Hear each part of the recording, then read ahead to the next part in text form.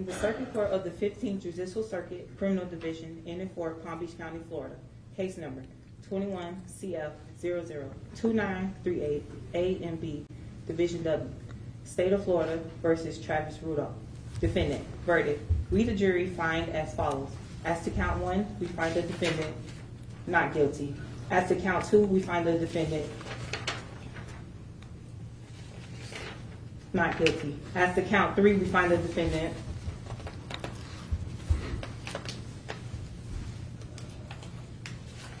not guilty.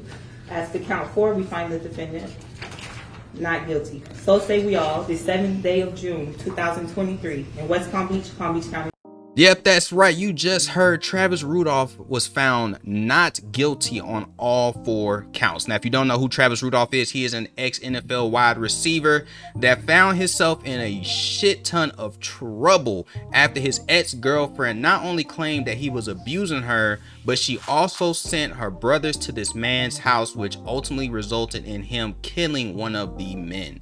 Now, of course, this led to him losing his, his NFL career and, of course, his reputation as he basically just had to fight all of this time to clear his name uh, because of course this was all in self-defense. Now it's still unclear what is going to happen to the woman. I will definitely keep you guys up to date on that.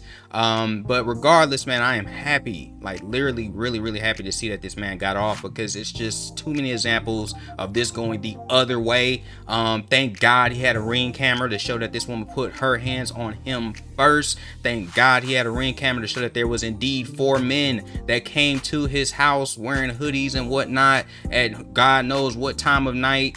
And again, thank God he had a ring camera to show that his brother was out there getting his ass whooped and he had to run out there with a gun to shoot and get them off of him. So, you know, one lesson out of all this, guys, or two lessons rather, one have a goddamn ring camera and then absolutely two man be careful of the company you keep in these women man because you know there's no fury like a woman scorn and even though i am unclear on what this man did to piss her off so bad at the end of the day she was willing to have his uh, her boys her boyfriend or, or her brothers rather come to that man's house and shoot him up she was willing to have that done because regardless of how she tried to spill the story, she knew what she meant when she said, I want y'all to go over there and shoot his ish up.